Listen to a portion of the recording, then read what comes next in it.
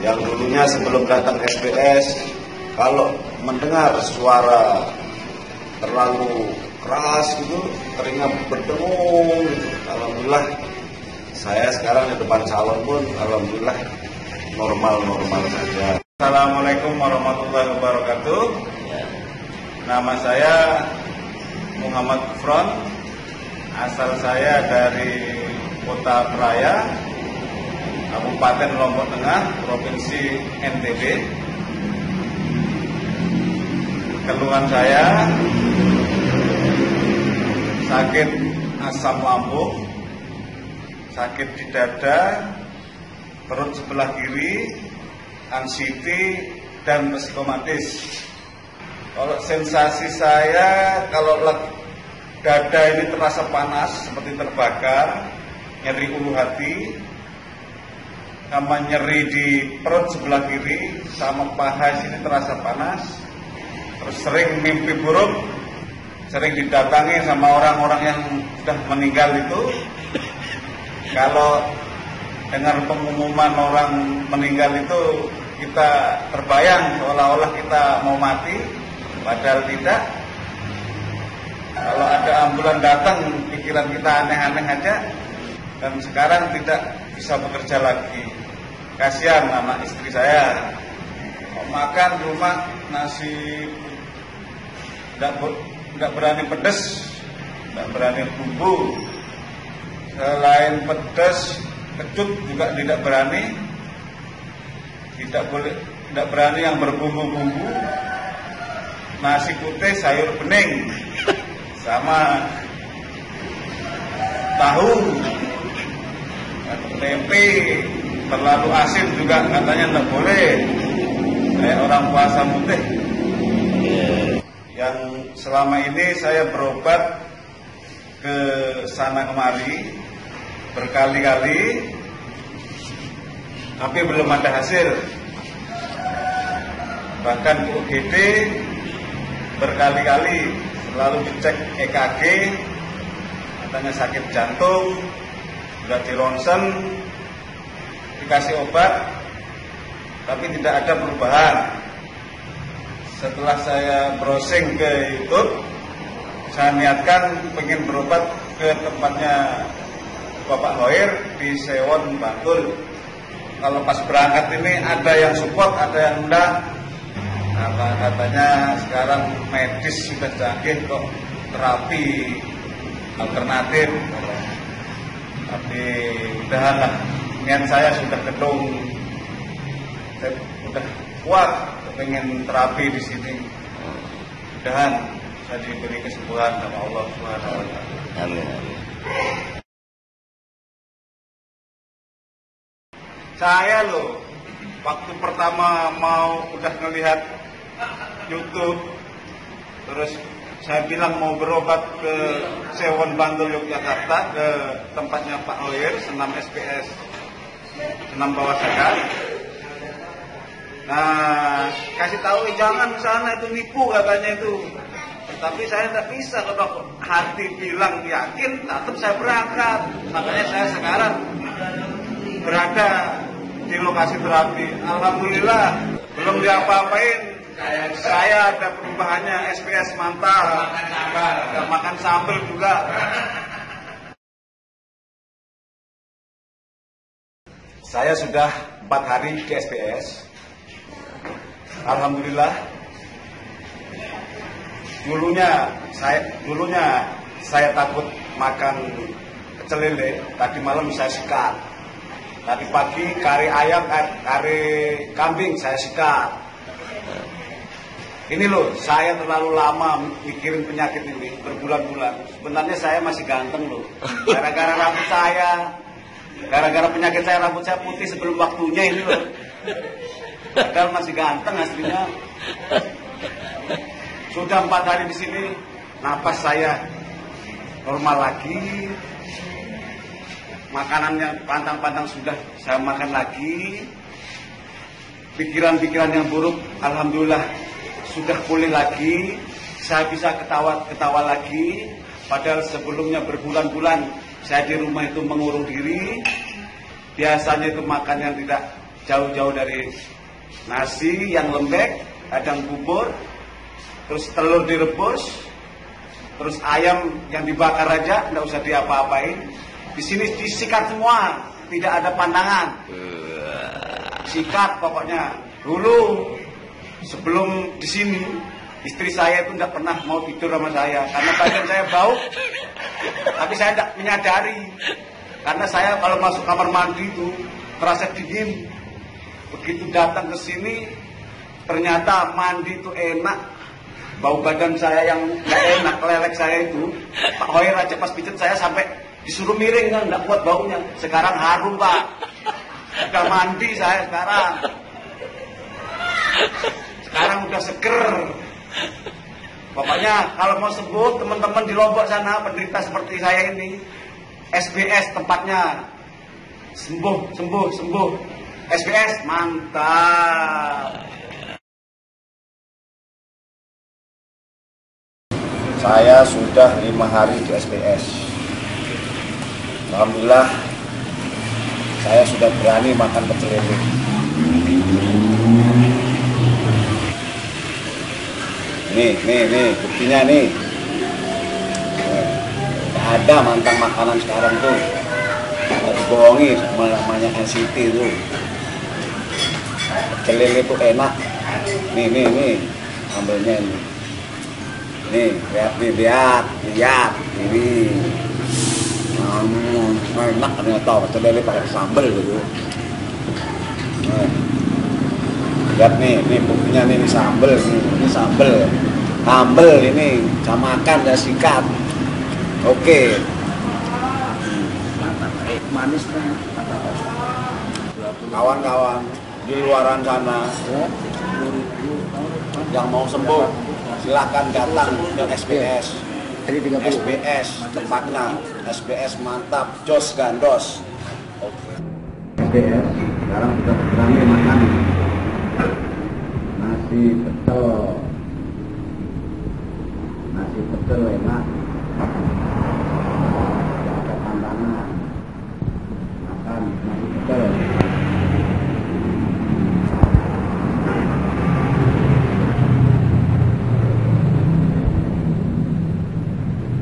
Nah, makan semua ada makanan pecel enak ternyata enak yes mantap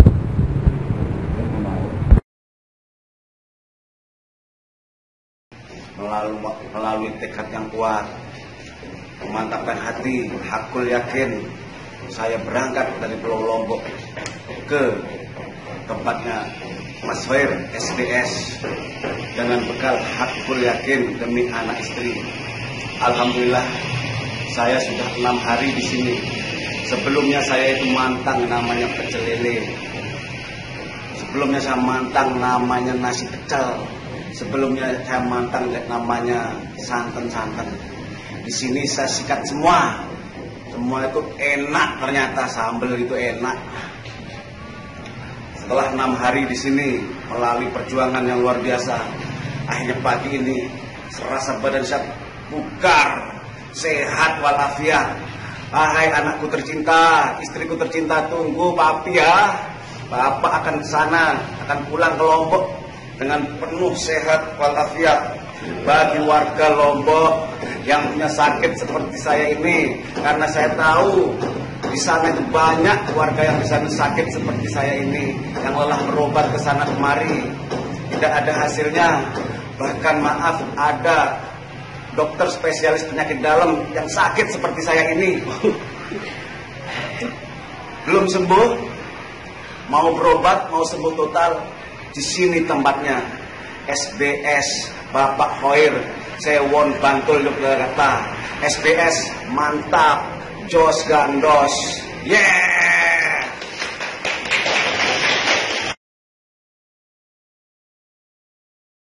Alhamdulillah setelah lewat 8 hari dulunya telinga saya yang sebelah kiri berdengung.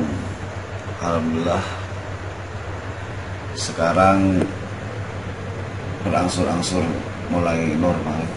Dan yakin saya sembuh total. SPS mantap. Alhamdulillah di pagi yang cerah ini saya menikmati nikmat Tuhan ciptaan Tuhan yang harusnya selalu kita syukuri. Begitu indahnya, begitu segarnya udara pagi begitu indahnya ciptaan Allah. Saya sudah sembilan hari sekarang ini di SPS.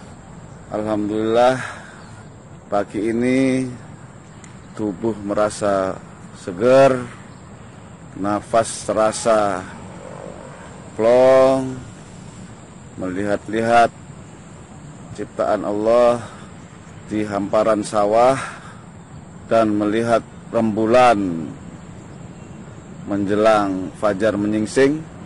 Menjelang fajar menyingsing rembulan masih jelas terlihat.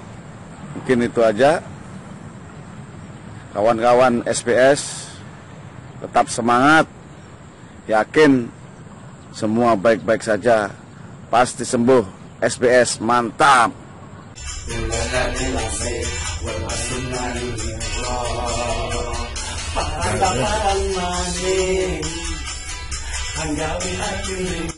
Tarik mang.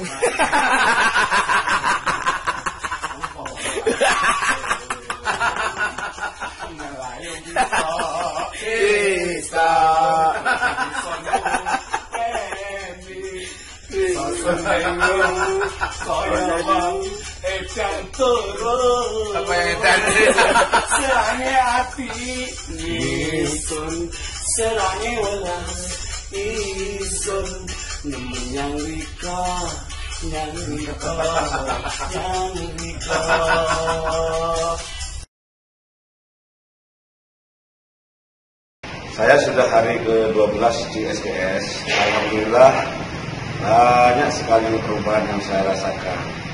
Dulunya kaki saya tuh kalau kena air itu terasa dingin sekali. Sekarang sudah mulai tidak dingin.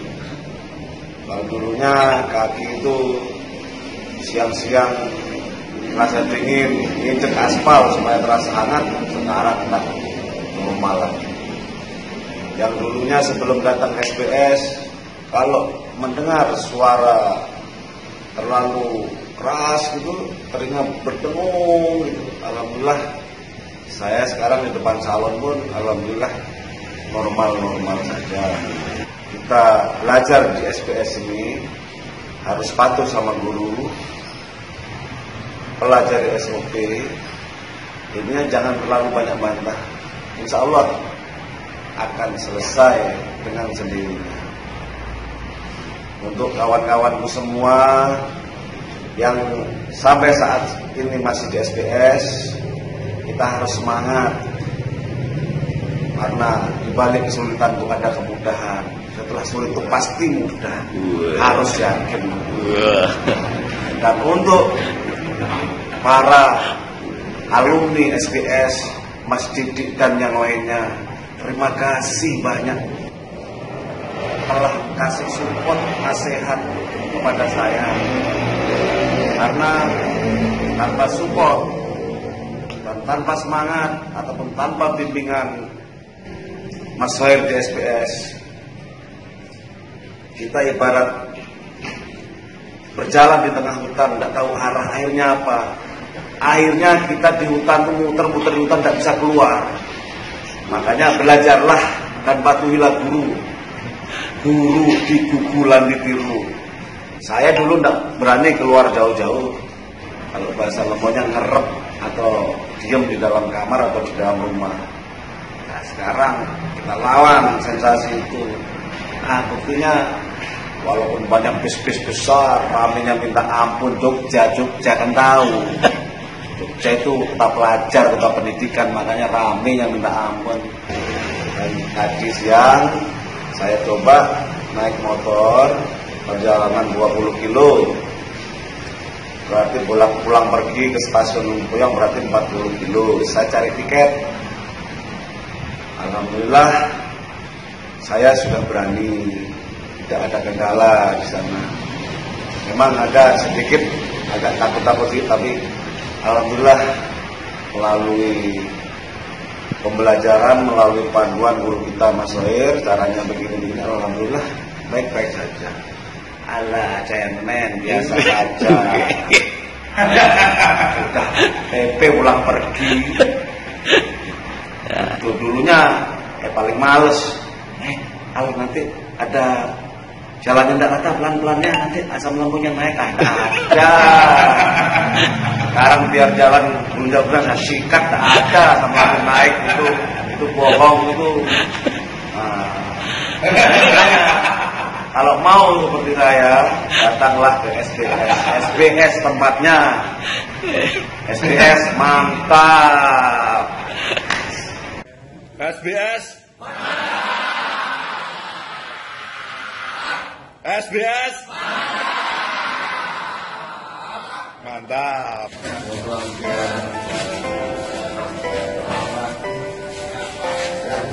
Sehat